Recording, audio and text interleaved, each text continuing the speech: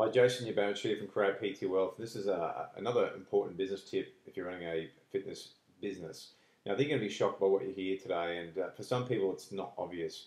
This is a topic that's come up quite a bit lately. Uh, we've educated over six and a half thousand personal trainers, and so uh, yeah, we get to see that um, so many different personal training businesses uh, come through our, um, I guess, our seminars, our coaching, our mentoring, and there's there's a common theme that stands out with anybody who's I guess, really uneducated in business but having a crack.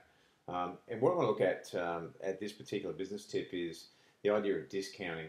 Now, there, there's research studies and facts out there, and you don't have to look too hard to discover these stats. And if, did you know that uh, even a 1% discount off your normal price um, means an 8% decrease in your profit? Now, I know a lot of trainers that are doing a lot more than a 1% discount. So hang in there and let's see how that really affects a business overall. Um, we've basically lost, I've lost count of the number of trainers we've helped to increase their profits simply by stopping this one activity. So if you ever wondered about how do I increase my, my profits by two, three, four, five hundred dollars per week, you don't necessarily have to work harder.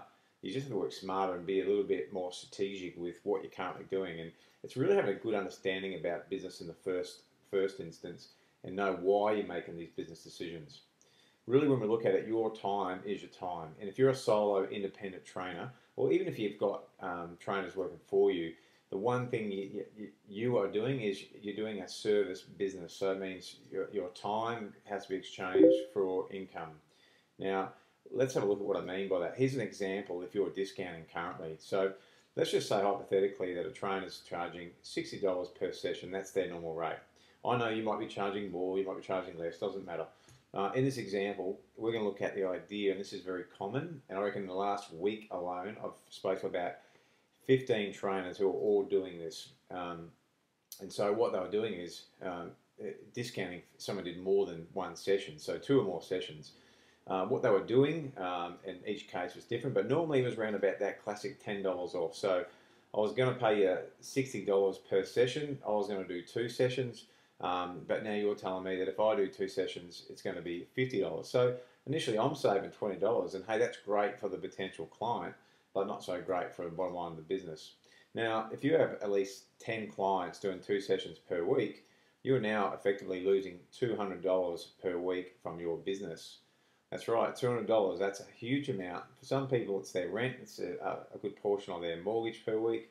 You really are sacrificing. So would you want to turn to a job week in, week out, where the boss says, hey, by the way, um, you know, we're going to give you a $200 a week pay decrease? Well, you wouldn't want to hang around too long. So this is what amazes me where people get in a business. And I understand they don't know better, but you got to look at it from that point of view. You're actually giving yourself a pay cut. Um, you get you get in a business to, to make more money um, and have a lifestyle, not actually work, earn less working harder. Um, but wait for it. If you're actually worked it out over the course for a year, it works out to be almost 10 it's just over ten thousand dollars. It's ten thousand four hundred dollars per year over fifty-two weeks. Now, if you're sitting there going, "Oh my God, that's exactly what I'm doing," I wonder why I'm not making the money that I possibly could. Well, here's one of the first avenues. You know, basically stop doing it. Stop discounting. Your time is your time, and you need to stop and think. So, firstly, I say to people, well, why are you discounting in the first place? What, what, why? How did you come up with that model? And normally the biz, the answers I get are not business related at all. They go, oh, I don't know, I just felt like, you know, I want to reward people if they were doing it. So there's no business logic at all.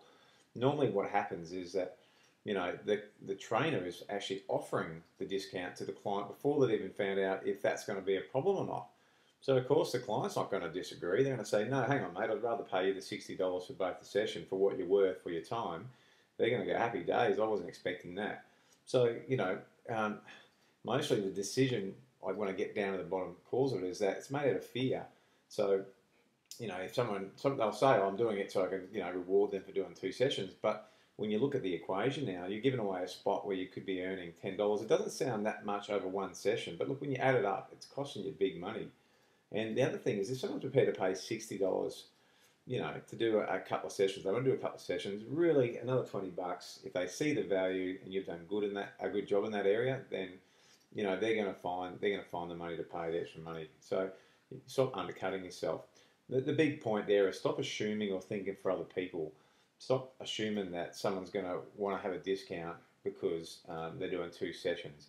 let them tell you first and foremost if that's what they're after. I can guarantee you that all my years of being in business, when you do a good job of the sales process, adding value, people can see the value, they know that the money they're paying to get the results they want is a, is a good exchange, then they're not going to ask for a discount. Sure, there's going to be some of those people that are a bit savvy um, that ask for a discount wherever they go.